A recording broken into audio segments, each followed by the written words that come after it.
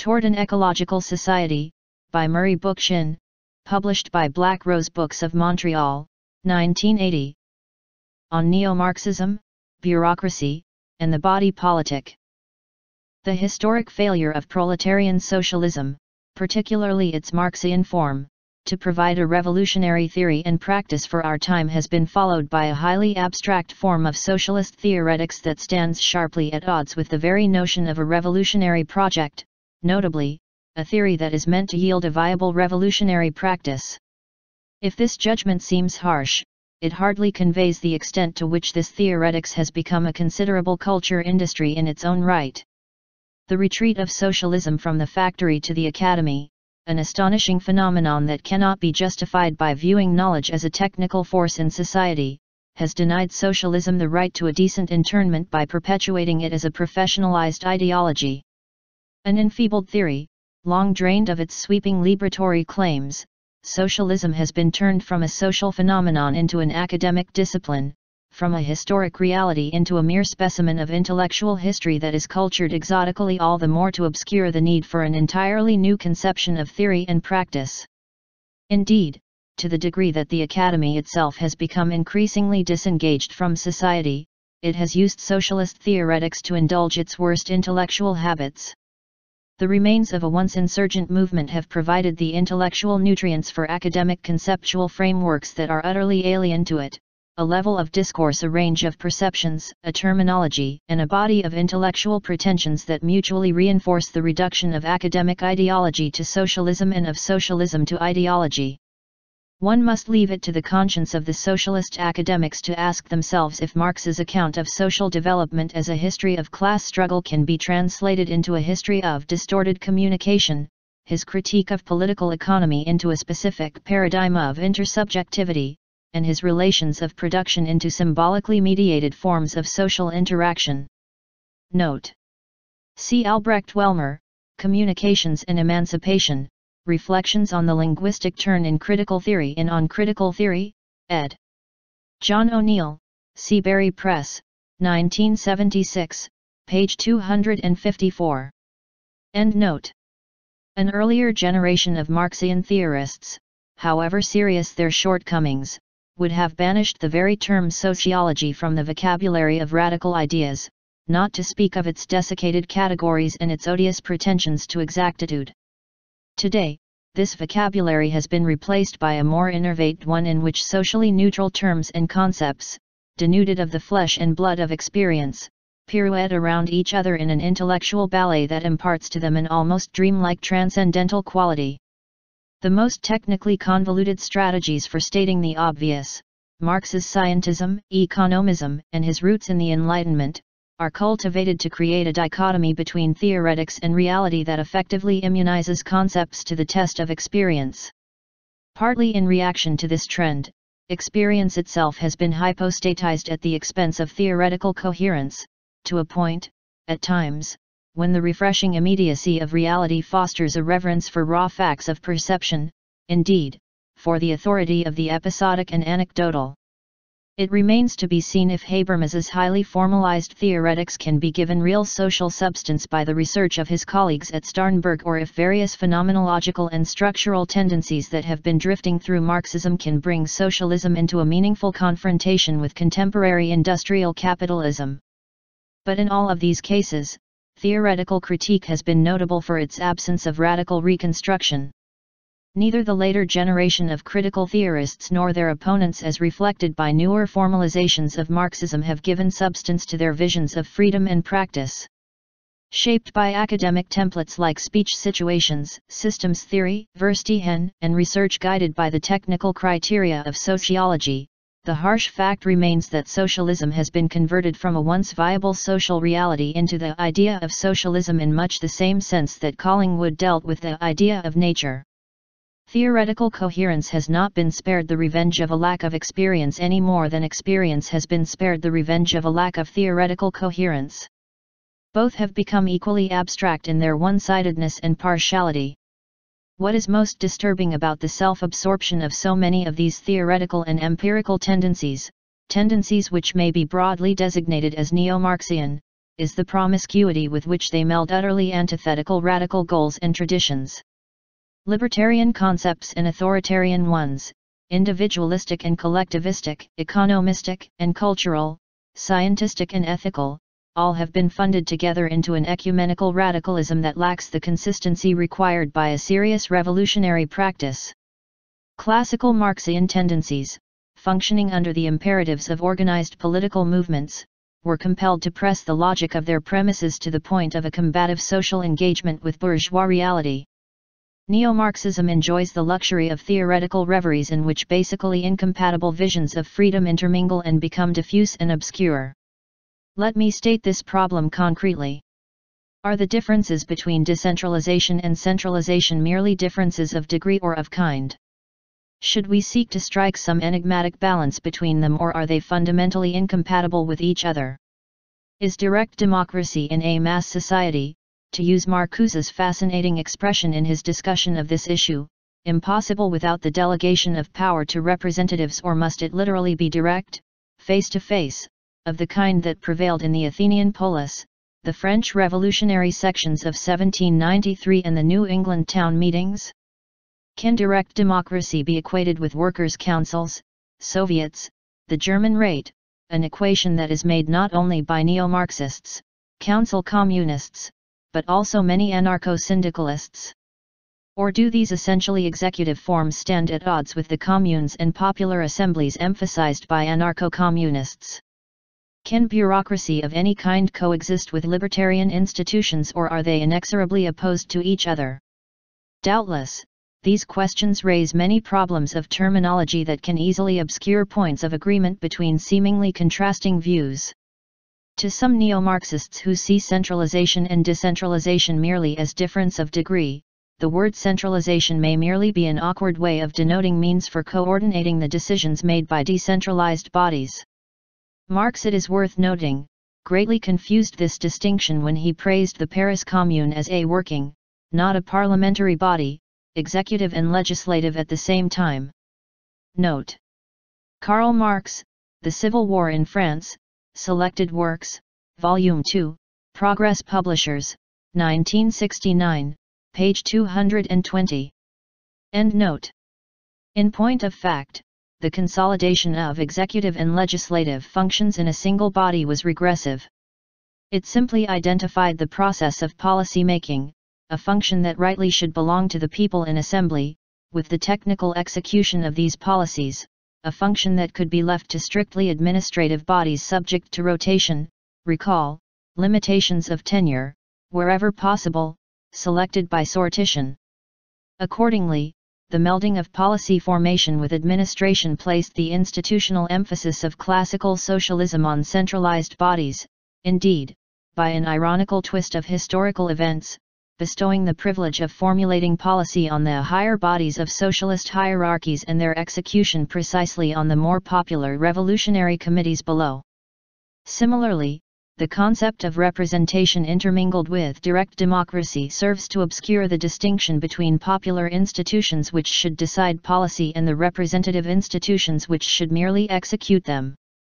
In this connection, Rousseau's famous passage on the constitutive nature of a people in the social contract applies even more to the mass society of our times than the institutionally articulated one of his era. Sovereignty, for the same reason that makes it inalienable, cannot be represented Rousseau declares, it lies essentially in the general will and will does not admit of representation, it is either the same or other, there is no intermediate possibility. The deputies of the people therefore are not and cannot be its representatives, they are merely its stewards, and can carry through no definitive acts. Every law the people has not ratified in person is null and void, is, in fact, not a law. The people of England regards itself as free, but it is grossly mistaken, it is free only during the election of members of parliament. As soon as they are elected, slavery overtakes it, and it is nothing. However problematical Rousseau's concept of general will may be, quite aside from his archaic concept of law, the premises that underlie it cannot be evaded, the moment a people allows itself to be represented, it is no longer free, it no longer exists. My emphasis m.b. Note. Jean-Jacques Rousseau, The Social Contract, Everyman Edition, 1959, pages 94, 96. Rousseau's influence on Hannah Arendt is almost as great as Aristotle's. Compare these remarks with Arendt's in On Revolution, Viking Press, 1965, pages 239 to 40. End note. It is precisely in terms of a general will more libertarian and individuated than any conceived by Rousseau that reveals the workers' councils, Soviets, and the Räte to be socially one-sided and potentially hierarchical. Councils may be popularly constituted, but they are not constitutive of a public sphere.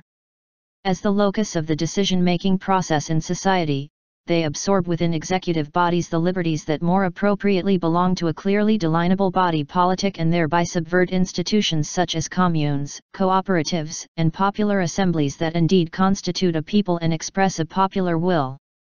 Councils, in effect, usurp the political subjectivity that should be shared by all in social forms that express the individual's claim to social sovereignty.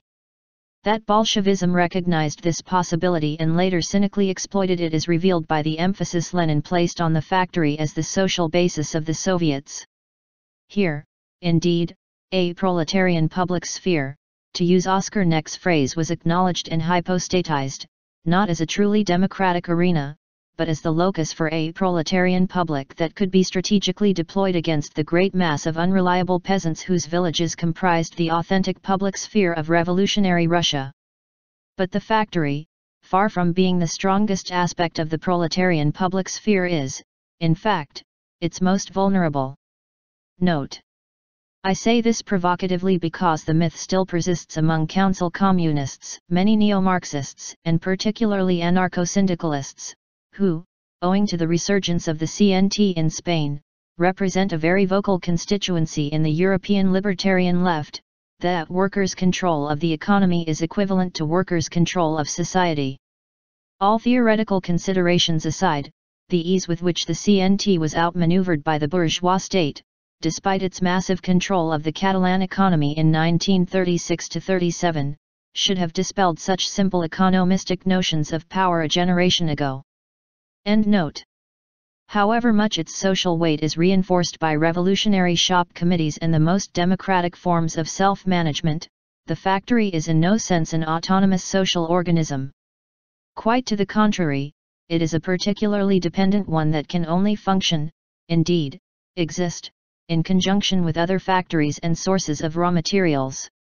The Bolsheviks were to astutely use this very limitation of the factory to centralize the proletarian public sphere to a point where they were to remove the last vestigia remains of proletarian democracy, first, by employing the Soviets to isolate the factory from its place in the local community, then, by shifting power from the community to the nation in the form of national congresses of Soviets. The use of Soviets to interlink the proletariat from factory to factory across the entire breadth of Russia, literally amputating it as a social stratum from any comprehensible roots in specific localities where it could function effectively, served to hopelessly delimit its powers and to rigorously centralize it. In the immense national congresses of Soviets staged annually during the revolutionary years, the Russian proletariat had lost all power over the Soviets even before the authority of the congresses had been completely usurped by the Bolshevik Party. Note. See my post-scarcity anarchism, Black Rose Books, 1977, pages 150 to 53. End note. Quite likely, the centralization of the proletariat could have been achieved by the Bolsheviks in any case without manipulating the Soviet hierarchy. The very class nature of the proletariat, its existence as a creature of a national division of labor and its highly particularistic interests that rarely rise to the level of a general interest, belie Marx's claims for its universality and its historic role as a revolutionary agent.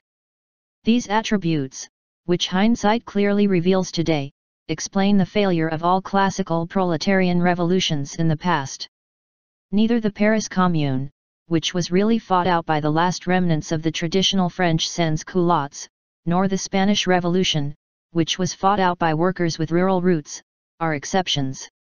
Indeed, social democracy and Leninism in all its varieties used this particularistic interest with great effect against broader revolutionary tendencies in society as witness Ebert's shrewd manipulation of the German Räte, Stalin's infamous Lenin levy, and more recently, the commanding influence of European communist and socialist parties over the working class today. Space does not make it possible to deal with the hierarchical nature of the factory structure and its impact on the formation of proletarian consciousness. If labor is the steeling school of the proletariat, as the young Marx was to emphasize, its locus, the factory, is a school based on imperious obedience, as Engels was to add in later years indeed, a school marked by the complete absence of autonomy. Note. Karl Marx and Frederick Engels, The Holy Family, Progress Publishers, 1956, pages 52 to 53, Frederick Engels, on authority in Marx, Engels, Lenin, Anarchism and Anarcho-Syndicalism, International Publishers, 1972, p. 102. End note. I have explored this issue elsewhere, in a work written more than a decade ago, and more recently, in my forthcoming Ecology of Freedom, where I question the existence of the factory as a natural fact of techniques that must persist independently of all social organization, Engels. Note. E. Beatum, p. 102. End note. What is significant in all of these issues is the way they are integrated by neo-Marxism into the very problematical premises of classical Marxism, thereby neutralizing them as the basis for a thoroughly new radical theory and practice. Perhaps the most striking examples of these incongruities can be culled from Marcuse's 60s writings, a literature which juxtaposes traditional, shop-worn interpretations of political reality with philosophical, aesthetic, and psychoanalytic insights that, in themselves, clearly pave new theoretical ground. These incongruities cannot be dismissed as the blind spots of an otherwise far-ranging mind. I must reluctantly insist that they impugn the integrity of the larger vision Marcuse was to advance, the extent to which it was fully thought out, and the political conclusions that followed from it. It is not trivial to ask why a work like an essay on liberation that contrasted the need for a moral radicalism with the scientistic radicalism of Marxian orthodoxy, that called for a passing from Marx to Fourier and from realism to surrealism, that celebrated the new sensibility of the 60s counterculture for its sensuousness, playfulness, and the challenge it posed to the esprit de sérieux in the socialist camp, that singled out the aesthetic dimension as a sort of gauge for a free society, indeed, that with all of this buoyant utopianism, could have casually included the observation that the global dominion of corporate capitalism, keeps the socialist orbit on the defensive, all too costly not only in terms of military expenditures but also in the perpetuation of a repressive bureaucracy. Or claim that in Vietnam, Cuba, and China, a revolution is being defended and driven forward which struggles to issue the bureaucratic administration of socialism. Or, still further, deals with the Third World as an external proletariat and its insurgent peasantry as a rural proletariat with the inevitable implication, stated more explicitly by Marcuse during a lecture at New York University a year earlier, that the apparent docility of the internal proletariat of the Euro-American orbit did not negate Marx's traditional theory of class struggle when capitalism is viewed as a global phenomenon. Note. Herbert Marcuse, An Essay on Liberation, Beacon Press, 1969, pages 7, 8, 22, 57, 64, 80, 85. End note. One cannot afford to merely grimace at such distasteful Bolshevik apologetic for the socialist orbit as a society deformed by a repressive bureaucracy because of capitalist encirclement. Nor can one regard it as an expression of the Geist of the time that Marcuse a man thoroughly schooled in the history of the interwar left, could mystify the Vietnamese Cuban, and Chinese revolutions as anti-bureaucratic certainly not without deliberately ignoring the Bolshevik legacy claimed by their leaders, the Stalinist structure of their parties, and the specious nature of the revolutions themselves. For nearly two generations, Marxists had debated the question of whether repressive bureaucracies within the socialist orbit, which certainly includes Vietnam, Cuba, and China, were merely deformations produced by capitalist encirclement or whether the socialist orbit itself constituted a historically new typology that required critique in its own right. The schizophrenic nature of Marcuse's vision was to find its most striking expression in counter-revolution and revolt where, incredibly, the mass communist parties of Europe and their unions were placed on the left of social democracy and, as a result of this meaningless constellation, were described as still a potentially revolutionary force. Note. Herbert Marcuse, Counter-Revolution and Revolt, Beacon Press, 1972, p. 41. End note. Such observations are not episodic errors in judgment, they reflect a preformed social outlook that is more basic than encomiums to moral radicalism, Fourier, surrealism, and the aesthetic dimension as a sort of gauge for a free society. Characteristically, when the chips are down, Marcuse like many neo-Marxists, falls on the side of centralization, delegated power, councils, and authority, as against decentralization, direct democracy, popular assemblies, and spontaneity. Again, like his melding of moral radicalism with Bolshevik apologetic, he does not explore the conflicting logic of these concepts, but mystifies them with a libertarian rhetoric that conceals his orthodox Marxist foundations. Occasionally, this rhetoric does violence to historical fact. For one who has lived through the Spanish Civil War era, for example it is astonishing to read that the International Brigades, a force Stalinist movements crassly employed for counter-revolutionary as well as military purposes, symbolized the union of young intellectuals and workers. Note. Marcuse, An Essay on Liberation, OPCIT, p. 14. End note. Not only was the formulation maladroit 30 years after the war, but it grossly misled the ill-informed radical youth who revered Marcuse as their elder statesman. Note. For my own part, I could cite many personal experiences where young people who read this passage in Marcuse's essay and viewed such repellent documentaries as To Die in Madrid had to be educated into the real facts about Spain, not to speak of such myths as the libertarian proclivities of Maoism and theory of an external proletariat, a position that was later to become the keystone of Weatherman propaganda. End note. We are reaping the harvest of such historical sloppiness, today, with an effluvium of romantic eulogies to the Rosenbergs and the Stalinist hacks of the 1930s, this, quite aside from a revival of Stalinism by young sectarians who have been schooled in the writings of Ho, Mao, and Fidel. Doubtless, to impute these trends to Marcuse's political sloppiness would be ridiculous but that he contributed even passingly to the making of such myths rather than their ruthless demystification is not to be shrugged off as accidental and raises even larger issues about the premises of neo-Marxism as such.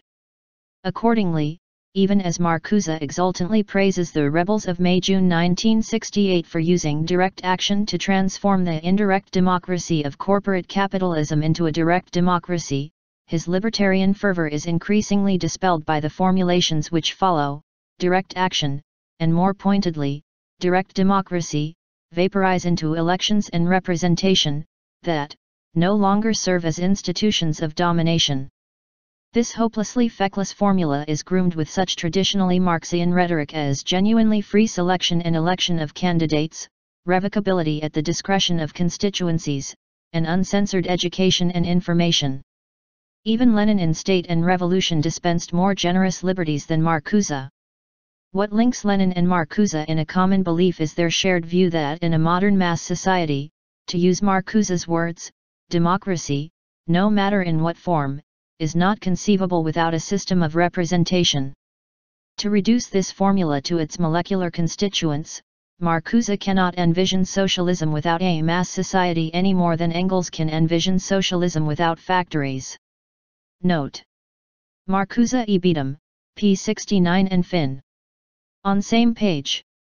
Not surprisingly, Marcuse is more at home with the seminal achievements of the councils, Soviets, Räte, as organizations of self-determination, self-government, or rather preparation for self-government, in local popular assemblies. That Räte and local popular assemblies stand in historic contradiction to each other is not posed as an issue because the contradiction lacks intelligibility if one thinks of a free society in largely institutional or structural terms, which are the terms with which Marcuse operates on a political level. If his Freudo-Marxism reclaims the sovereignty of the ego, of play, and the aesthetic dimension in daily life, it lacks any viable lifeline to his notion of socialism as a mass society. This dualism that divides Marcuse's anarchism on the personal plane from his Marxian pragmatics on the social must inevitably lead to the absorption of the personal by the social, of the black flag, to use his own metaphors, by the red flag. Note. Ibid, p. 8. End note. When he advances the slogan, spontaneity does not contradict authority, is it necessary to ask what he means by the word authority? Self-discipline, education, and wisdom, as I have argued elsewhere in advancing the notion of informed spontaneity, or obedience, submission, and surrogation of will? It is by no means clear that one can infer from Marcuse's Freudo-Marxism that the rights he acknowledges for the individual can be translated into social and institutional terms. The two are loosely bonded precisely because Marcuse sees no contradiction between his anarchism on the personal level and his Marxism on the social. Theory may permit this dichotomy to exist indefinitely as an exotic flower with a prickly stem, hence the success neo-Marxism enjoys as an academic project. Practice must bring the two into bitter contradiction with each other once neo-Marxism removes itself from the campus, and where it has done so, it exercises virtually no influence. It would be a grave error to view my remarks on Marcuse as a critique of Marcuse as an individual thinker. Inasmuch as his theoretics have dealt more directly with social problems than that of any other neo-Marxist body of theory, they more clearly reveal the limits of the neo-Marxian project. Habermas is veiled by a formalism so abstract and a jargon so equivocal and dense that he is almost beyond the reach of pointed criticism. Castoriadis has abandoned Marxism completely. More importantly, the seeming schizophrenia of Marcuse's theoretics is not a personal trait but a generic one. Owing to Marcuse's own courage in venturing into social issues that neo-Marxists usually avoid, direct democracy, decentralization, representation, spontaneity, and liberatory social structures, he clearly reveals the extent to which these issues are intrinsically alien to Marxism as such, indeed to socialism. To this list of issues, one may reasonably add ecology, urbanism, and more fundamentally, hierarchy, domination, and a liberatory rationality. What neo-Marxists have not candidly faced is the extent to which Marxism in all its forms is organically structured to respond to social changes that lend themselves to analyses of class relations, economic exploitation, industrial rationalization, political institutions, and mass constituencies. To the degree social changes raise broader issues of hierarchy, domination, ecological dislocations, liberatory technologies, social forms based on face-to-face -face relations, and individual sovereignty, these issues must be hydrolyzed, if I may be permitted to use a biological analogy, into simpler, more soluble ingredients that render them accessible to Marxian categories, indeed, to a Marxian outlook that such monumental social issues must be degraded so that they can be absorbed by Marxism raises the basic question of whether the theory can be perpetuated in its wholeness or whether it should not be fragmented and its more viable components absorbed into a much broader theory and practice that will issue the very use of terms like Marxism and socialism. Note I cannot help but note that Freudo-Marxism itself is an unstable hybridization of subjective categories with the value-free social science Marx sought to bestow on socialism. Women's liberation, like ecology, urbanism, even workers' control and neighborhood sovereignty, must be grafted onto the Marxian corpus like alien theoretical transplants. Alas, the sutures barely hold the grafts to the main body. A veritable industry, maintained by a number of well-known neo-Marxist hacks, has been established to provide the necessary cosmetics for the disfiguring effects of this bizarre surgery. But behind it all, one invariably encounters the same Marxian outlook with its fixation on the proletariat, external or internal, old or new, on economic data and power constellations. Important as these areas assuredly are, they are not the last word in social analyses and as mere subjects of analyses do not provide the fundamental basis for theoretical reconstruction and a new radical practice. End note. Ultimately, a line will have to be drawn that, by definition, excludes any project that can tip decentralization to the side of centralization, direct democracy to the side of delegated power, libertarian institutions to the side of bureaucracy, and spontaneity to the side of authority. Such a line, like a physical barrier, must irrevocably separate a libertarian zone of theory and practice from the hybridized socialisms that tend to denature it. This zone must build its anti-authoritarian, utopian, and revolutionary commitments into the very recognition it has of itself, in short, into the very way it defines itself. Given the intellectual opportunism that marks our era, there is no way that a libertarian zone can retain its integrity and transparency without describing its parameters in terms that reveal every conceivable form of treachery to its ideals, at which point it must cease to be what it professes to be. I would hold that such a zone can only be denoted by the term anarcho-communism, a term that denies the validity of all claims of domination by definition. Accordingly, to admit of domination is to cross the line that separates the libertarian zone from the socialist. Whosoever eschews the term in the name of a revolutionary project that is theoretically more delectable and socially more popular remains unreliable in his or her commitment to libertarian goals as such, goals that must remain tentative insofar as they are not rooted in the fixed AT of consistently anti-authoritarian premises. Perhaps such a fixed AT of premises may be intellectually distasteful or socially impractical. These are legitimate questions that must be decided by discussion or personal conscience. But the very fixed AT of premises that define anarcho-communism as a consistently libertarian zone is the sole guarantee that a revolutionary project will not slither back to forms of theory and practice that inherently lend themselves to opportunistic compromises. Traditions and personalities must not be permitted to stand in the way of our self-understanding of the issues involved. One may look askance at a Proudhon for his philistinism, at Bakunin for his naivete, at Kropotkin for his didacticism, at Durruti for his terrorism, and anarchist theoretics generally for its simplicity. Even if each such assessment were true, which I do not believe to be the case it would merely be episodic in the face of a social crisis so massive and a social response so opportunistic that we can no longer retain any revolutionary project without the most compelling moral imperatives. Existentially, our era allows for no commitment that falls short of the anarcho-communist project for liberation, certainly not without leading to the betrayal of humanity's potentiality for freedom. In any case neo-Marxism and libertarian socialism fail us in the content they impart to a liberated society. To mingle direct democracy with delegated power, to build a free society on the concept of a mass society, to reduce hierarchy to class relations and domination to economic exploitation reveal a gross failure to understand the meaning of society, of human consociation, as a realm of freedom. With the politicization of society by state institutions, the substitution of bureaucratic ties for human relations, the homogenization of social forms and personal relations, socialist theoretics too has lost its very sense of society as more than a vague public sphere subject to rational, albeit humanistic, controls. In this wasteland of social forms, we are obliged to ask questions that would have been taken for granted in an earlier era. What constitutes a human community and a society based on self-management? What constitutes that classical self-acting agent we denote by the term citizen?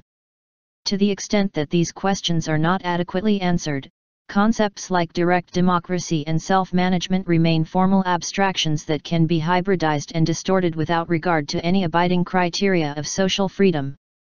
Ultimately, the answers we give to these questions determine the authenticity of our commitment to a free society. We have used words like modernity and industrial society to conceal a basic difference between capitalism and pre-capitalist societies, a difference that is highly relevant to the questions I have raised above. In whatever ways pre-capitalist societies differed from each other, they differed from capitalism in the fact that they were basically organic, richly articulated in forms and structures that were to be ultimately challenged and destroyed by bourgeois market relations.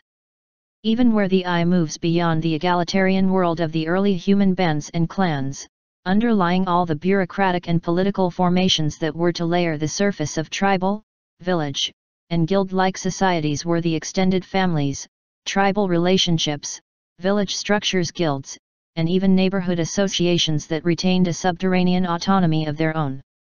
Marx was to address himself to the tenacity of these sub-political formations in his observations on the small and extremely ancient communities in India that are based on the possession of land in common, on the blending of agriculture and handicrafts and on an unalterable division of labor, which serves as a fixed plan and basis for action whenever a new community is started. The organic nature of these communities, which Marx was to emphasize even more strongly in the Grundriss, is described in primarily economic terms, in economic categories that subtly degrade the human content of their associative implications and absorb them into the framework of historical economism that vitiates Marxian anthropology. But their inner social power, their vitality as human impulses toward sociation, seeps through Marx's remarks nevertheless. The law that regulates the division of labor in the community acts with the irresistible authority of a law of nature, while each individual craftsman, the smith, the carpenter, and so on, conducts in his workshop all the operations of his handicraft in the traditional way, but independently, and without recognizing any authority. The simplicity of the productive organism in these self-sufficing communities which constantly reproduce themselves in the same form and, when accidentally destroyed, spring up again on the same spot and with the same name, this simplicity supplies the key to the riddle of the unchangeability of Asiatic societies, which is in such striking contrast with the constant dissolution and refounding of Asiatic states, and their never-ceasing changes of dynasty. The structure of the fundamental economic elements of society remain untouched by the storms which blow up in the cloudy regions of politics. Note. Karl Marx, Capital, Volume I, Vintage, 1977, pages 477 to 78, 479. End note. One could wish for a discussion of this riddle in less reductionist economic categories, although the entire passage, taken word for word, is a fascinating guide to Marx's methodology even when he moves beyond the sphere of bourgeois society. Whether Marx had a social philosophy or not, his treatment of history is intellectually unified by an economism that itself could pass for a social philosophy. Kropotkin, whose associationist sensibility is much stronger than Marx's, points out that the early medieval city could hardly be named a state as regard its interior organization, because the Middle Ages knew no more of the present centralization of functions than of the present territorial centralization. Each group had its share of sovereignty. The city was usually divided into four quarters, or into five to seven sections radiating from a center, each quarter or section roughly corresponding to a certain trade or profession which prevailed in it, but nevertheless containing inhabitants of different social positions and occupations, nobles, merchants, artisans, or even half-serfs, and each section or quarter constituted a quite independent agglomeration. In Venice, each island was an independent political community. It had its own organized trades, its own commerce in salt, its own jurisdiction and administration, its own forum. The nomination of a doge by the city changed nothing in the inner independence of the units. In Cologne, we see the inhabitants divided into neighborhood guilds, which dated from the Franconian period, each of which had its own judge, jury, and local militia commander. Kropotkin quotes J.R. Green to the effect that in London, before the conquest, social life was based on a number of little groups scattered here and there over the area within the walls, each growing up with its own life and institutions, guilds, sokes, religious houses, and the like, and only drawing together into a municipal union. The medieval city thus appears as a double federation, Kropotkin concludes, of all householders united into small territorial unions, the street, the parish, the section N of individuals united by oaths into guilds according to their professions, the former being a product of the village community origin of the city, while the second is a subsequent growth called to life by new conditions. Note. The patronizing attitude of many Marxist theorists toward Kropotkin's work in this area and the cultivated oblivion they exhibit toward historical disputes that were waged between Marxists and anarchists over such widely ranging issues as the general strike and the importance of popular control of revolutionary institutions is evidence of an odious partiness that must be directly confronted wherever it exists. Are we to forget that Rosa Luxemburg in the mass strike, the political party and trade unions grossly misrepresented the anarchist emphasis on the general strike after the 1905 revolution in Russia in order to make it acceptable to social democracy? That Lenin was to engage in the same misrepresentation on the issue of popular control in state and revolution? That in recent years Marxist writers, who have adduced the factory as a school for conditioning the proletariat into submission to union and party hierarchies have yet to acknowledge the anarchist literature that originally pointed to this problem. Much the same can be said around such issues as ecology, utopianism, and even gay and women's liberation. As long as neo-Marxists stake out a claim to concepts that are historically alien to their traditions in Marxism, they not only perpetuate the mystification of radical history, but exhibit a moral probity that is hardly better than that of the society they profess to oppose. End note. Note. Peter Kropotkin, Mutual Aid, Extending Horizons Books, 1955, pages 179 to 80, 181. The most striking feature of the capitalist market is its ability to unravel this highly textured social structure, to invade and divest earlier social forms of their complexity of human relations. Even as capitalism seems to amplify the autonomy and claims of the individual, it does so by attenuating the content and structure of society. As Gemeinschaft theorists like Buber have pointed out, when we examine the capitalist society which has given birth to socialism, as a society, we see that it is a society inherently poor in structure and growing visibly poorer every day. By the structure of a society is to be understood its social content or community content. A society can be called structurally rich to the extent that it is built up of genuine societies, that is, local communes and trade communes and their step-by-step association. What Gierke says of the cooperative movement in the Middle Ages is true of every structurally rich society, it is marked by a tendency to expand and extend the unions, to produce larger associations over and above the smaller associations, confederations over and above individual unions, all embracing confederations over and above particular confederations. At whatever point we examine the structure of such a society we find the cell tissue society everywhere, i.e. a living and life-giving collaboration, an essentially autonomous consociation of human beings, shaping and reshaping itself from within. Society is naturally composed not of disparate individuals but of associative units and the associations between them. The capitalist economy and the centralized state peculiar to it begin to hollow out this highly articulated social structure until the modern individualizing process ends up as an atomizing process, a process that divests the individual of the social substance indispensable to individuality itself. Although the old organic forms retain their outer stability, for the most part, they become hollow in sense and in spirit, a tissue of decay. Not merely what we call the masses but the whole of society is in essence amorphous, unarticulated, poor in structure. Neither do those associations help which spring from the meeting of economic or spiritual interests, the strongest of which is the party, what there is of human intercourse in them is no longer a living thing, and the compensations for the lost community, forms we seek in them can be found in none.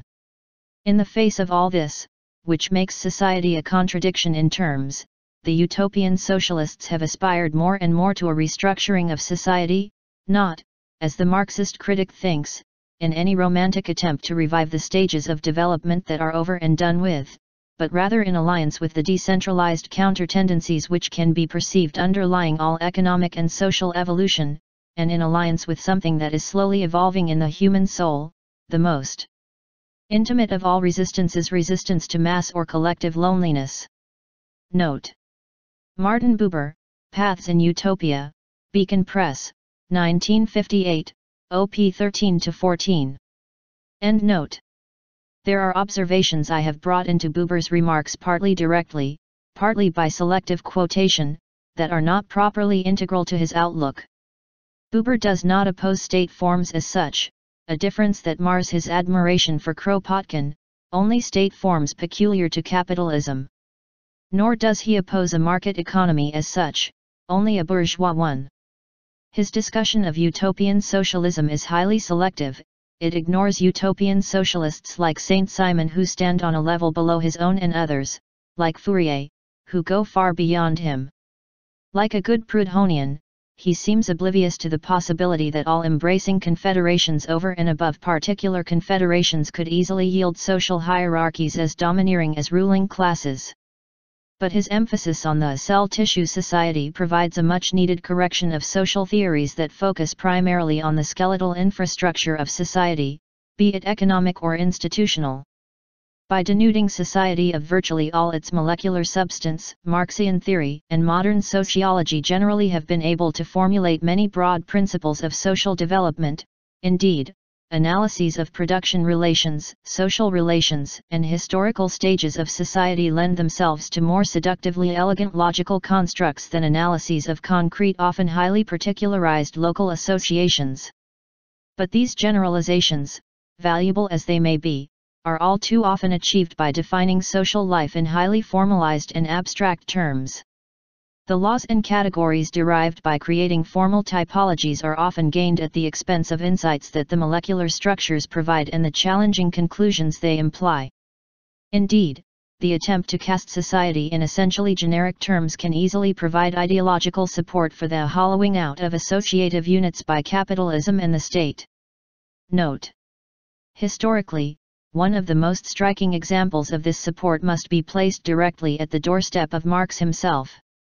For Marx to have described capital as a great civilizing influence that not only reduces nature purely to an object for man, Menschen, mankind in the McLellan translation, humankind in the Nicolaus, purely as an object of utility, but also as a force that drives beyond all traditional, confined, complacent, encrusted satisfactions of present needs, and reproductions of old ways of life must now be viewed as more closely akin to this ideological process than a form of naive 19th century evolutionism. Grundriss, Random House pg 410, the Nicolaus translation has been corrected to remove the fiction that Marx was a committed feminist in his terminology, these remarks by Marx must not be dismissed as a mere theoretical matter. Bitter conflicts within the Russian and Spanish revolutionary movements over opponents and supporters of the more desirable features of village society were to reflect conflicting attitudes toward Marx's encomiums to the historically progressive role of capitalism, particularly in its destruction of pre-capitalist formations. Isaiah Berlin, in his excellent introduction to Franco Venturi's Roots of Revolution, Grosset and Dunlap, 1960, has discussed this cleavage in the Russian revolutionary movements with great sympathy for the anarchistic populists. I have dealt with the same issue in the Spanish revolutionary movements in my Spanish Anarchists, Free Life Editions, 1977, a work that is also available as a Harper and Row paperback. End note. By rendering social thought blind to the significance of these units, villages, neighborhoods, cooperatives, and the like, Marxian and bourgeois sociology take for granted and even participate in the preemption of community by bureaucracy, associated individuals by privatized egos, the society by the state. To state the issue more broadly, the buyer-seller relationship of the marketplace, carried by the logic of the commodity relationship to the point of a market society, literally simplifies social life to the level of the inorganic. I have pointed out elsewhere that ecologically, the most significant problem we face today is not merely environmental pollution but environmental simplification. Note. See Post-Scarcity Anarchism, OPCIT, p65. Capitalism is literally undoing the work of organic evolution.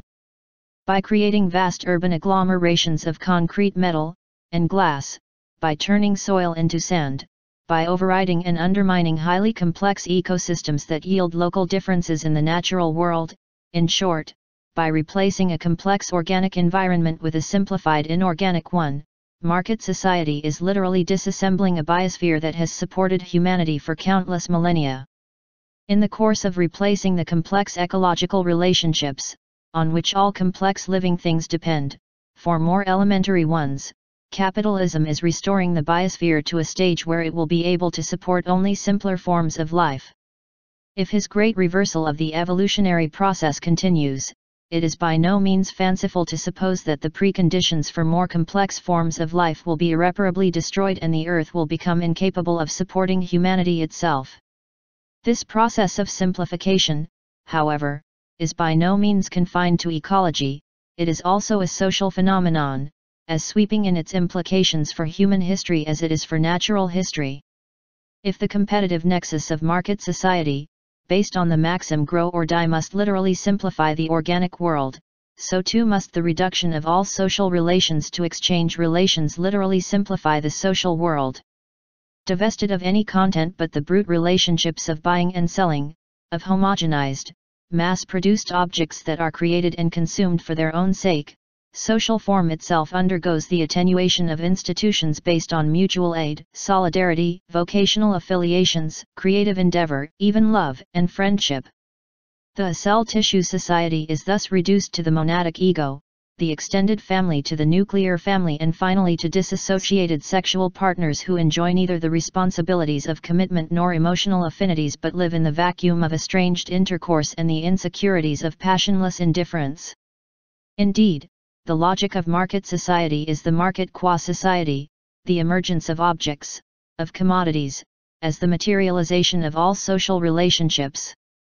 Note. I have emphasized the word all because a market society is no longer a market economy. The colonization of every aspect of life by capital is impersonal as well as social, domestic as well as industrial, retail as well as productive, is a relatively recent phenomenon that really came into its own after World War II.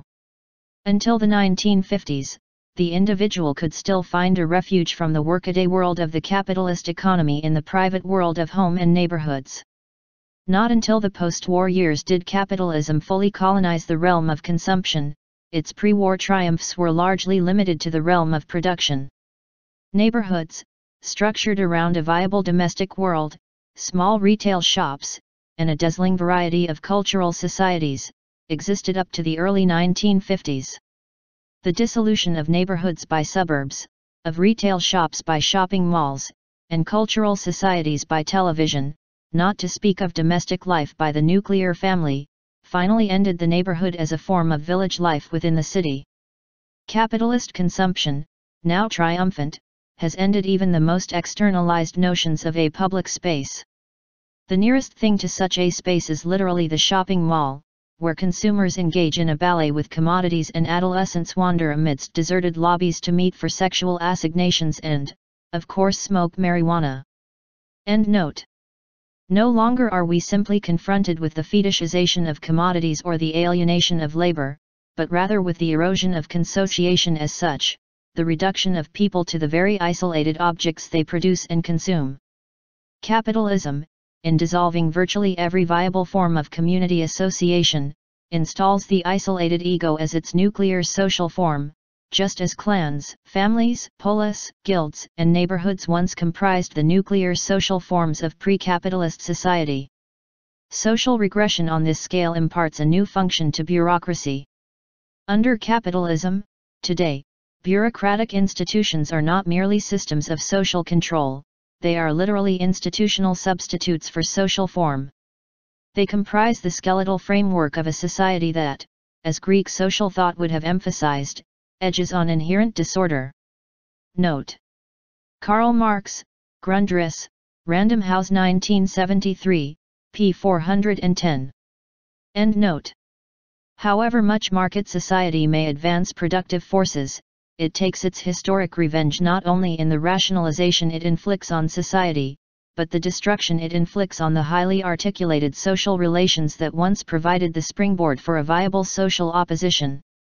The most disturbing feature of modern bureaucracy is not merely the coercion regimentation, and control it imposes on society, but the extent to which it is literally constitutive of modern society, the extent to which it validates itself as the realm of order against the chaos of social dissolution.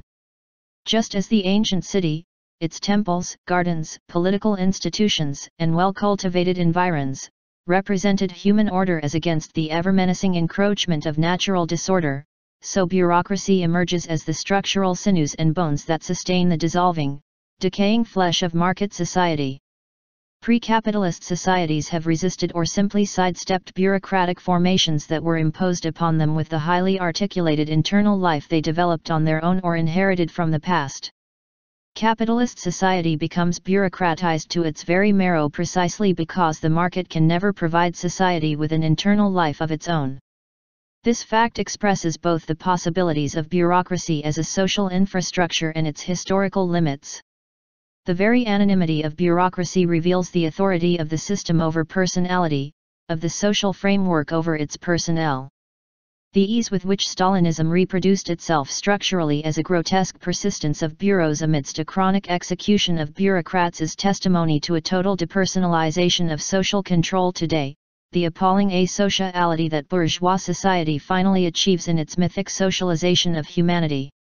Together with the denaturing of humanity, capitalism creates a synthetic society so completely divested of organic attributes that its social relations are literally mineralized into objects. The bureaucrat is truly faceless because he or she has no protoplasmic existence, the depraved notion that administrative decision-making can be taken over by computers and public expression by electronic media, a notion seriously considered as a step in the direction of direct democracy by theoretically sophisticated radical groups like the French Situationists, not only zany science fiction utopians, increasingly renders the flesh and blood bureaucrat and citizen an anachronism. As in Platonic metaphysics, the immediate world of perception becomes the imperfect, transient copy of an eidos that transcends the uncertain and chaotic materiality of life itself. If bureaucracy represents the culmination of social order, capitalism totally belies the historic destiny Marx imputed to it as the means for universalizing humanity and providing it with the means for controlling its own destiny. Bureaucracy, as a system perfected to the point of voiceless depersonalization, now represents a mute society even more divested of self-articulation than mute nature. In the structureless void to which capitalism has reduced society, the public realm literally becomes a public space, public only in the sense that it is occupied by interlinking bureaus. Flow diagrams and systems theory become the language of corporate entities that, lacking even the presence of the lusty robber barons, consist of objects moving through depersonalized agencies. The homeostasis of these corporate entities depends not upon personal judgments but the corrective power of deviations. Contemporary language unerringly calls this feedback, input, and output, not discourse dialogue or judgment. There is a moral that must be drawn from this massive regression to the inorganic. Capitalism has not performed the historic function of disembedding humanity from nature. Over and beyond the haunting power of archaic tradition over the present is an embeddedness in nature itself, a nature Wüchsigkeit, that found expression in the organic consociation of human beings, initially, a consociation expressed in clannic ties, a sexual division of labor, the eminence of the elders, and a nature idolatry that slowly cemented human ties into ever-expansive forms of association. Doubtless, these were primarily biological facts, not social, organic, not synthetic. But the price humanity has paid for its socialization, for the denaturalization of blood groups into territorial units, tribes into towns, and the stranger into citizenship, has taken the form of capitalism, a rapacious society that has carried through human socialization by tearing down all the barriers which hem in the development of the forces of production, the expansion of needs, the all-sided development of production, and the exploitation and exchange of natural and material forces. Note. Jeremy J. Shapiro, The Slime of History in On Critical Theory, OPCIT, pages 147 to 48. End note. If it is true, as Jeremy Shapiro has argued, that for Marx capitalism creates the conditions for removing human beings from their immersion in archaic traditions and in nature by 1. Setting abstract labor free as a force of production through the process in which labor creates its own conditions, and 2. Freeing individuals from their identification with particular social roles allotted to them by the social division of labor, it is no less true that capitalism removes them from organic nature only to re-embed them in inorganic nature. Note. Ibidem, p. 149. End note.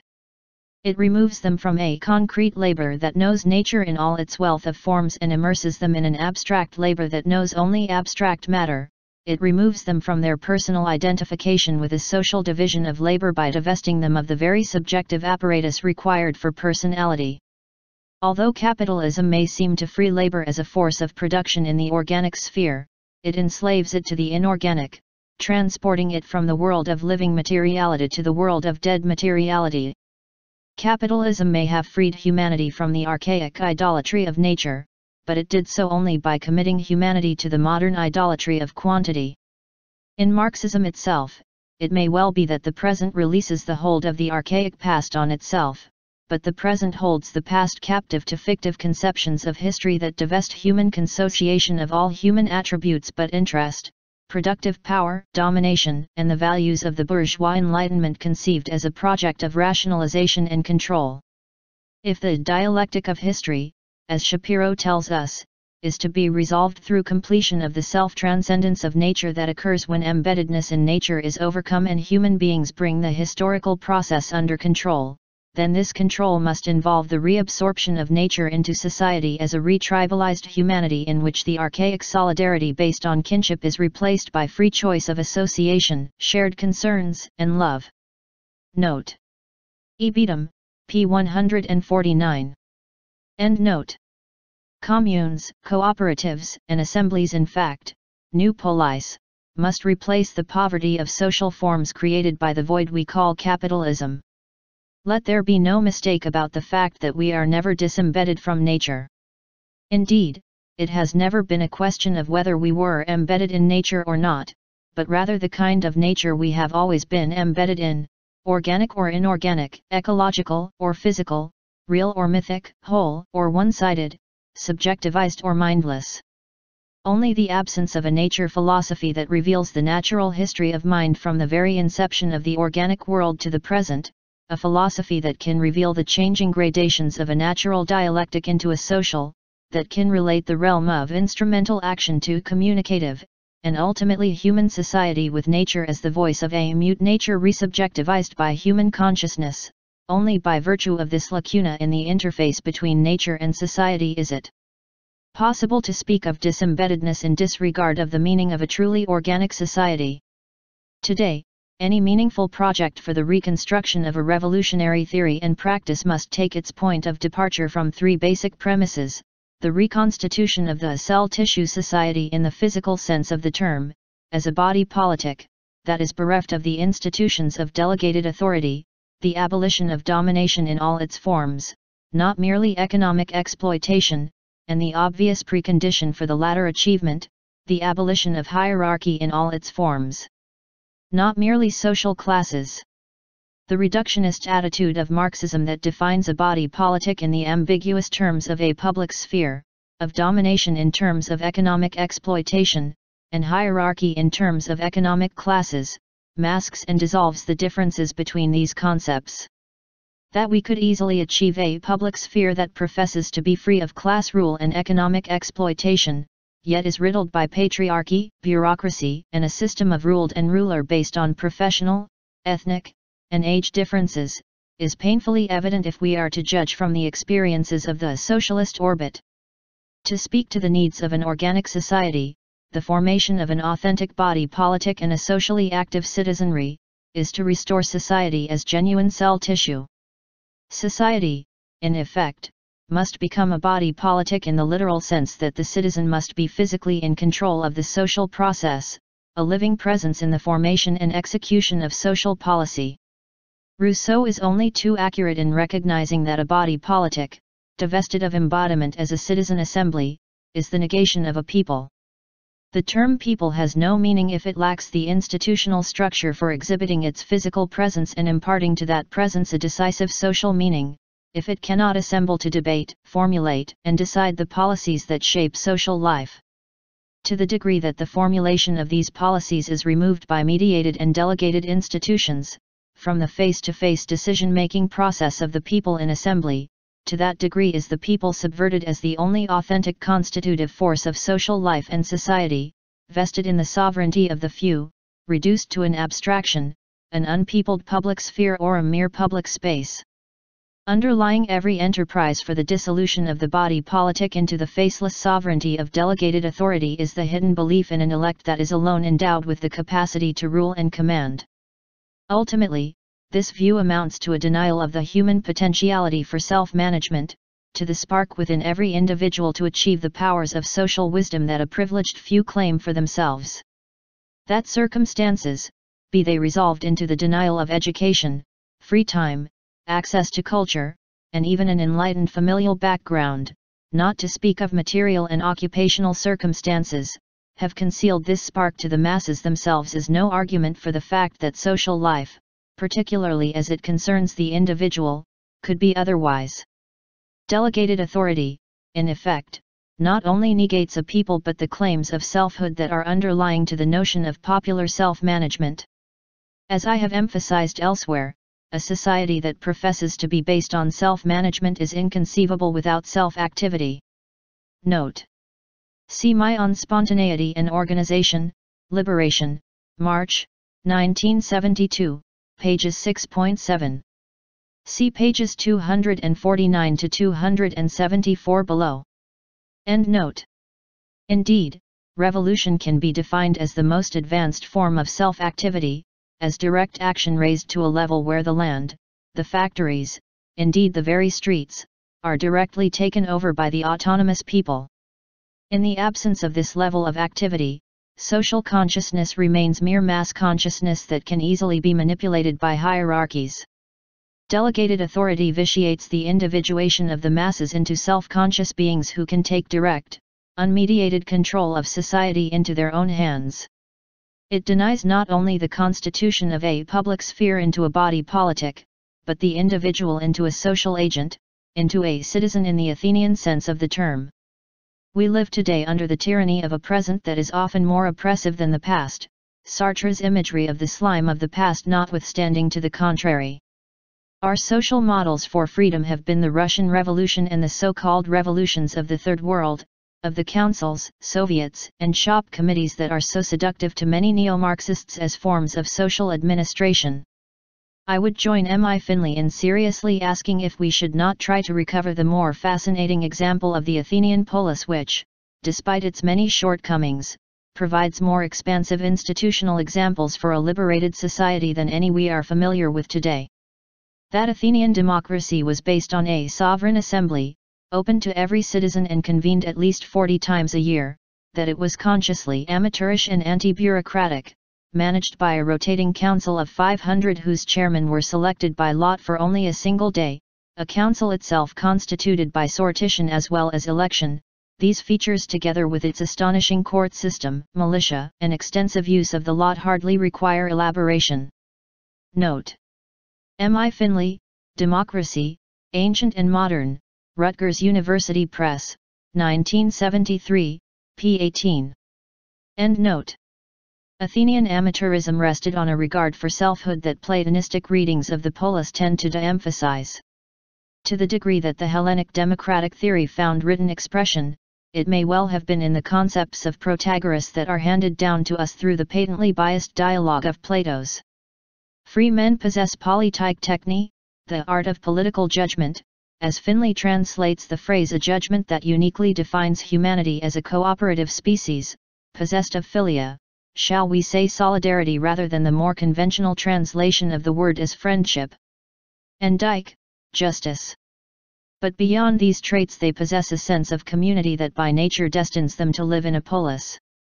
These traits of a free citizen, taken together, constitute a controlled selfhood, what we call self-control, that renders community life or koinonia possible. Neither the sovereign assembly, with its unlimited right of participation, nor the popular jury courts, dicastery, MB, nor the selection of officials by lot nor ostracism could have prevented either chaos on the one hand or tyranny on the other had there not been self-control among enough of the citizen body to contain its behavior within bounds, observes Finley. Moreover, this self-control was an active form of selfhood, not the apathia or absence of feeling we so often associate with contemporary citizenship within a depersonalized formal system of rights and duties. There was a tradition, Aristotle Constitution of Athens, 8.5, that in his legislation early in the 6th century BC Solon passed the following law, specifically aimed against apathy, when there is civil war in the city, anyone who does not take up arms on one side or the other shall be deprived of civil rights and of all share in the affairs of government. The authenticity of the law is doubtful, but not the sentiment. Pericles expressed it, in the same funeral oration in which he noted that poverty is no bar, by saying, Thucydides, 2.40.3 Any man may at the same time look after his own affairs and those of the state. We consider anyone who does not share in the life of the citizen not as minding his own business but as useless. Note. E. Beedham, pages 29 to 30. End note. It is ironical that we must turn to John Stuart Mill, rather than his socialist contemporaries, for an insightful evaluation of how direct participation in social life and the development of selfhood mutually reinforce each other to form the civic virtues and commitments of the citizen, that make active citizenship the highest expression of selfhood. The defects of Athenian democracy notwithstanding, the practices of the dicastery and popular assemblages, Mill was to observe, raised the intellectual standard of an average Athenian citizen far beyond anything of which there is yet an example in any other mass of men, ancient or modern. The Athenian citizen was obliged to weigh interests not his own, to be guided, in case of conflicting claims, by another rule than his private partialities, to apply, at every turn, principles and maxims which have for their reason of existence the common good. He accordingly found himself associated in the same work with minds more familiarized than his own with these ideas and operations which supplied reason to his understanding and stimulation to his feeling for the general interest. Note. John Stuart Mill, Considerations on Representative Government, World Classics Edition, 1948, pages 196 to 98. End note. Hannah Arendt was to formulate this educative process, an integral feature of what the Greeks called paideia, the spiritual forming of the individual, as an enlarged mentality that renders authentic judgment possible. Note. Hannah Arendt, Truth and Politics in Philosophy, Politics, and Society, edited by Peter Laslett and W. G. Runciman, Blackwell & Co., 1967, p. 15. End note, the polis was not only an end but a means that made political practice, participation is a feeble terms, a mode of self-formation. At this level, a people not merely arrives at a general interest but begins to transcend interest as such. Interest, a term nourished by the bourgeois enlightenment that surfaces throughout the Marxian literature as class interest and in neo-Marxism as knowledge interest, is replaced by the possibility of mutuality and consociation based on the Hellenic concept of philia or, in the Christian tradition, by agape. The young Hegel, despite his scorn for a Christian equality that saw the slave as the brother of his owner, was deeply rooted in the millenarian ideal of a new human union and the Joachimite vision of an era of fulfillment. In this Trinitarian vision, love, as embodied in the Holy Spirit, transcends the faith that marked the era of the Son and the law that marked the era of the Father. For the young Hegel, true love, or love proper, exists only between living beings who are alike in power and thus in one another's eyes living beings from every point of view and, by the same token, to achieve this penultimate recognition of the living beings who are loved, they must be alike in power. My emphasis M.B, agape as conceived in Hegel's eschatological vision, no longer knows the drive of interest, indeed, it deprives man's opposite of all foreign character, and discovers life itself without any further defect. This is not a world in which grey is painted on grey. In love the separate does still remain, but as something united and no longer as something separate, life, in the subject, senses life, in the object. Indeed, love supplants law and one may justifiably ask if, in this era when all living beings are alike in power, there is any need for mediation in the state. Note. G. W. F. Hegel, The Early Theological Writings, University of Chicago Press, I 948, pages 304 to 5. End note. Note. To my knowledge, this implicit anarchism in the young Hegel has been ignored by neo-Marxists and its Joachimite roots examined only casually, if at all. The considerable attention which has been given to labor and language in Hegel's early writings has often slighted their utopian dimension and has turned Hegel not merely into a precursor of Marxism but also one of its victims. End note. Assemblage attains its fullness in a world where interest yields to philia and agape where judgment emerges from the self-formative intercourse and spiritual education of an enlarged mentality. Endowed with this mentality, even when I shun all company or am completely isolated while forming an opinion, I am not simply together only with myself in the solitude of philosophic thought Arendt observes, I remain in this world of mutual interdependence where I can make myself the representative of everyone else.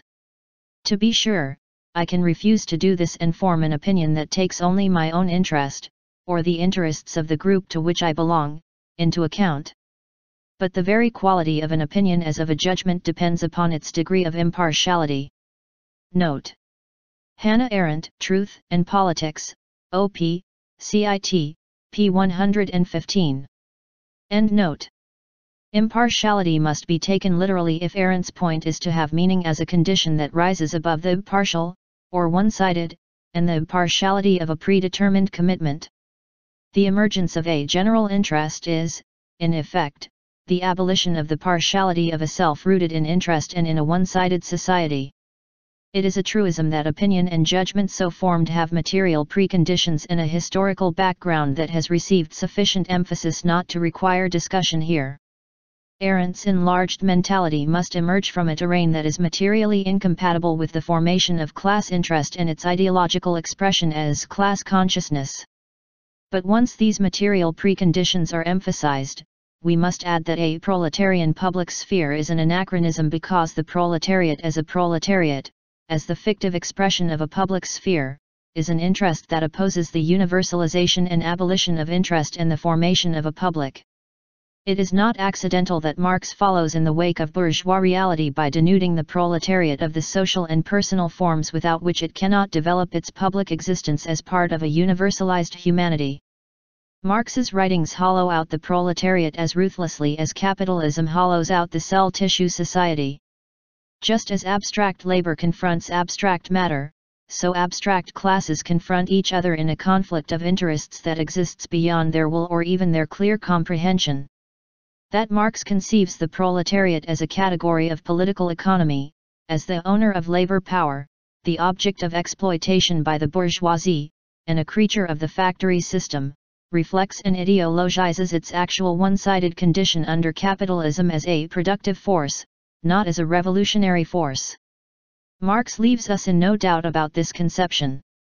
As the class that is most completely dehumanized, the proletariat transcends its dehumanized condition and comes to embody the human totality through urgent, no longer disguisable absolutely imperative need. Accordingly, the question is not what this or that proletarian, or even the whole proletariat at the moment considers as its aim. The question is what the proletariat is, and what, consequent on that being, it will be compelled to do. Note. Karl Marx and Friedrich Engels, The Holy Family, OPCIT, pages 52 to 53. End note. The emphasis throughout is Marx's and provides a telling commentary on his disubjectivization of the proletariat. I will leave aside the rationale that this formula provides for an elitist organization. For the present, it is important to note that Marx, following the tradition of classical bourgeois political economy, totally objectifies the proletariat and removes it as a true subject.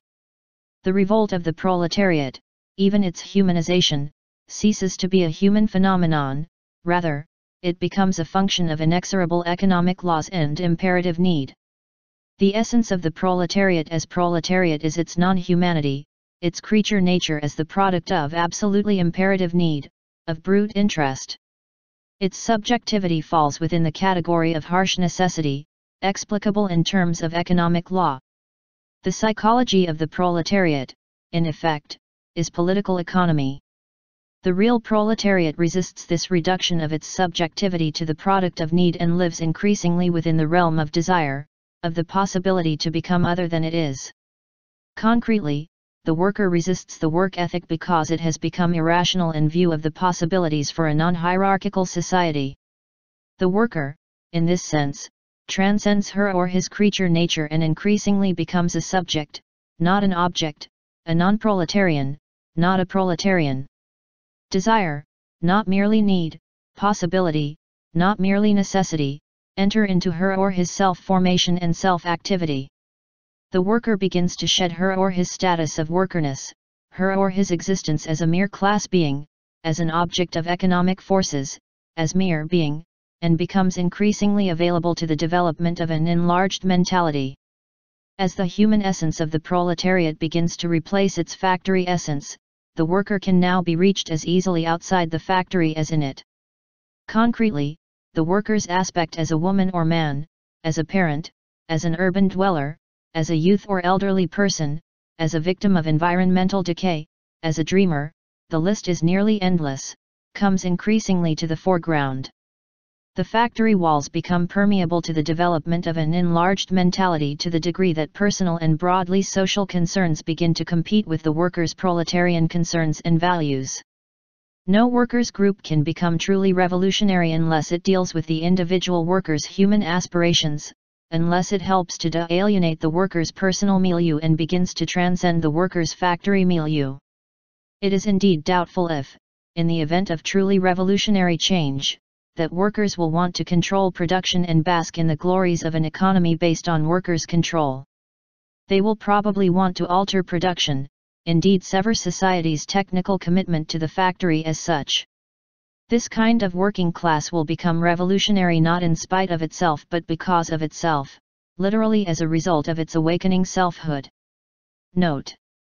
Most of my observations about the proletariat were made at the Telos Conference on Organization at Buffalo, New York, in November, 1971, and were developed in my article on spontaneity and organization.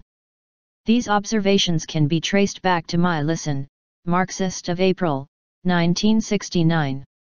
They have since been appropriated by many neo-Marxists to add a legitimation precisely to a proletarian consciousness and interest that my remarks were meant to challenge. I adduce this type of distortion primarily to guard the reader against neo-Marxist tendencies that attach basically alien ideas to the withering conceptual framework of Marxism, not to say something new but to preserve something old with ideological formaldehyde, to the detriment of any intellectual growth that the distinctions are designed to foster. This is mystification at its worst, for it not only corrupts ideas but the very capacity of the mind to deal with them. If Marx's work can be rescued for our time, it will be by dealing with it as an invaluable part of the development of ideas, not as pastiche that is legitimated as a method or continually updated by concepts that come from an alien zone of ideas. End note. For Aristotle man is by nature a political animal, and so even when men have no need of assistance from each other they nonetheless desire to live together. For although they share a common interest in a good life, they also come together and maintain the political partnership, actually politic and koinonian mb, for the sake of life merely. Note. Aristotle, Politics, Loeb Classical Library, 1932, 1278 BL 530 and Karl Marx and Friedrich Engels, The German Ideology, International Publishers, 1947, p7. End note. For Marx, men can be distinguished from animals by consciousness, by religion, or anything else you like. They themselves begin to distinguish themselves from animals as soon as they begin to produce their means of subsistence, a step which is conditioned by their physical organization. By producing their means of subsistence men are indirectly producing their actual material conditions. Note. G. W. F. Hegel, The Early Theological Writings, OPCIT, p. 81, 82. End note. Between these two definitions of man lie more than 2,000 years not only of human progress in mastery over nature, but social regression in the denuding of society. The degradation of koinonia into the division of labor and of philia into class solidarity, finally of the self into an endless fount of egotism and needs, is a historical fact that cannot be ignored but it is also an ideology that cannot be hypostatized and mystified as revolutionary. To deal with capitalism alone as a myth of praxis that incorporates precisely what should be exorcised from civilization as a whole in Freud, Adorno, Horkheimer, and frankly, Fourier's meaning of the term, is a betrayal of the larger revolutionary project that awaits the critique and practice of an enlarged mentality. If we are not merely at the end of capitalism but at the end of civilization as Fourier might have observed of hierarchy and domination, it is not enough to speak any longer, of class and exploitation but rather of rank as such at the most molecular levels of human consociation. Critical theory, too, was to challenge civilization as a sphere of domination and a rationality of domination, but it did not deal with hierarchy, with the sensibility that organizes difference into a sphere of command and obedience. Hence, it too became victim to the hidden hierarchical dimension that perpetuates domination, the proclivity to stand above the flux of life and ultimately the test of experience. For the emancipatory interest to ferret out its tradition of emancipation in the academy, to build its moral imperatives within the boughs of its own intellectual Eden, is to replace revolutionary history and its far-reaching lessons by intellectual history with its diet of pale gruel. Not that theory has no imperatives of its own, but rather that it cannot be defined as a praxis that is guarded from life by ivy-covered walls. It was the young Hegel, again, who most clearly formulated the place of wisdom as paideia, specifically in the fruitful interchange of teacher and taught rather than leader and led, a paideia that informs the development of a revolutionary culture or movement as much as it does a revolutionary sensibility. That age, experience, and personal talents may confer wisdom is no reason that they should confer power. Hegel's distinction between Jesus and Socrates draws this point out unerringly on its authentic social terrain. The Christian apostles were mere acolytes. Lacking any store of spiritual energy of their own, Hegel observes, they had found the basis of their conviction about the teachings of Jesus principally in their friendship with him and dependence on him.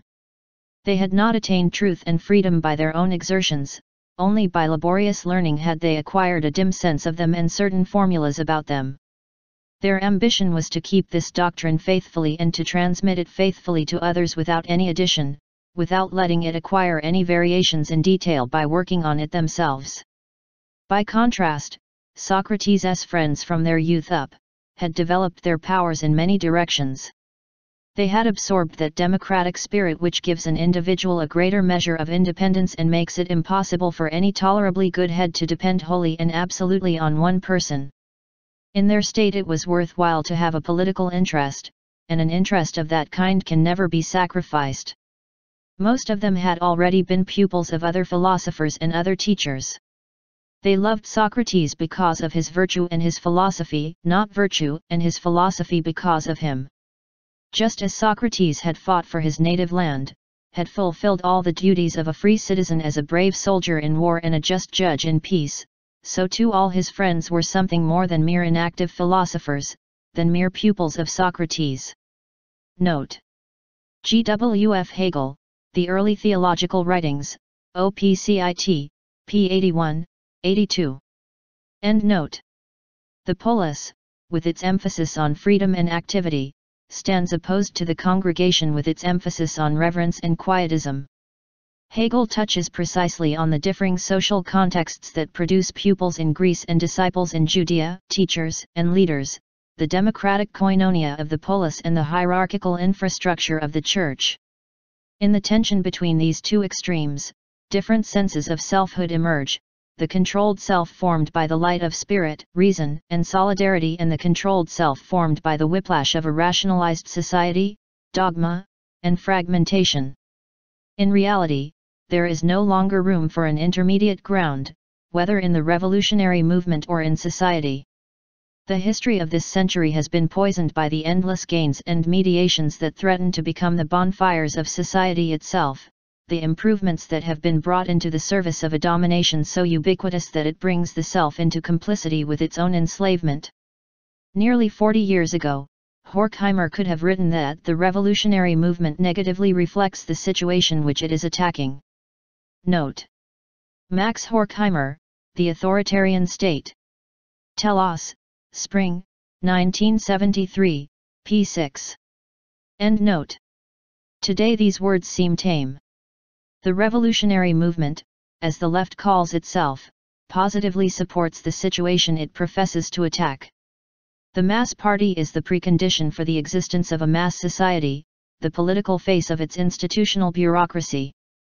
The entire future of the left diverges on whether it seeks to recover a body politic, the koinonia of a face-to-face citizenry, or whether, in the name of the pragmatic, the expedient, and the appropriate mediations it will foster the ever greater rationalization of the society with the rhetoric of progress, planning, reform, and even revolution. Beyond the intramural disputes of the left lie the larger social issues of historic recovery and social advance. The municipal tradition, however faint, persists in Western society today as an American tradition that may well speak to an American revolutionary movement with greater meaning than the European emphasis on centralization the continued growth of the New England town by division of the central nucleus into new cells, having an independent life of their own, recalled the earlier pattern of Greece, Lewis Mumford has observed. But the New England towns added a new feature that has never been sufficiently appreciated nor as widely copied as it deserved, the township. The township is a political organization which encloses a group of towns, villages, hamlets, along with the open country area that surrounds them, it performs the functions of local government, including the provision of schools and the care of local roads, without accepting the long-established division between town and country. Mumford's lament that the failure of both the federal and the state constitutions to incorporate the township as the basic unit of American democracy was one of the tragic oversights of post-revolutionary political development is an understatement. The post-revolutionary political development of the early republic was largely counter-revolutionary and the township, particularly its town meetings, were deliberately excluded precisely because they gave concrete organs to an abstract political system of democracy. Note. Lewis Mumford, The City in History, Harcourt, Brace and World, 1961, p. 332. End note. As Merrill Jensen has pointed out in a fascinating account of that very period, the nature of city government came in for heated discussion. Town meetings, whether legal or informal, had been a focal point of revolutionary activity. The anti-democratic reaction that set in after the American Revolution was marked by efforts to do away with town meeting governments that had spread well beyond New England to the mid-Atlantic and southern states. Attempts by conservative elements were made to establish a corporate form, of municipal government, whereby the towns could be governed by mayors and councils elected from urban wards. Judging from New Jersey, the merchants backed incorporation consistently in the efforts to escape town meetings. Such efforts were successful not only in cities and towns of that state but also in Charleston, New Haven, and eventually even Boston. Jensen, addressing himself to the incorporated form of municipal government and restricted suffrage that replaced the more democratic assembly form of the revolutionaries of 1776 in Philadelphia, expresses a judgment that could apply to all the successful efforts in behalf of municipal incorporation following the revolution, the counter-revolution in Philadelphia was complete. Note. Merrill Jensen, American in the Era of the Articles of Confederation. End note. Here, then, lies a history and a liberatory tradition that awaits full and conscious expression as a demand for human-scale local popular control, decentralization, and face-to-face democracy both within the revolutionary movement and within society. In turning the notion of the people against its bourgeois utopian origins, this liberatory tradition recovers and transcends a vision for which the material premises were established by bourgeois society itself. A new revolutionary subject exists in the social vacuum left by society and the centralized power at its summits. Note. See My Toward a Vision of the Urban Future in Urban Affairs Annual Review, Sage Publications, 1978, in Press. See pages 171 to 191 above. End note. The system turns everyone against it, be it the conservationist or the small struggling entrepreneur, the worker or the intellectual, women, blacks, aged, or the seemingly privileged suburbanite.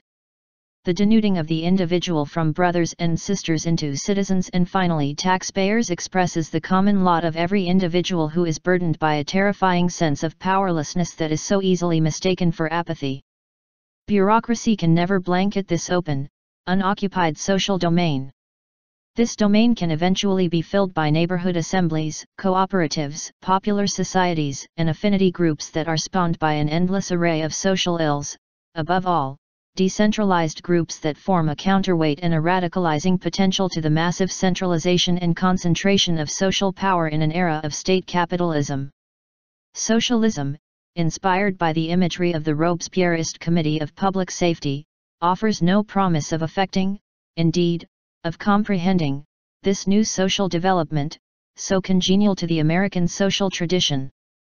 The simplification of the social problem into issues like the restoration of local power, the increasing hatred of bureaucratic control, the silent resistance to manipulation on the everyday level of life holds the only promise of a new revolutionary subject on which resistance and eventually revolution can be based.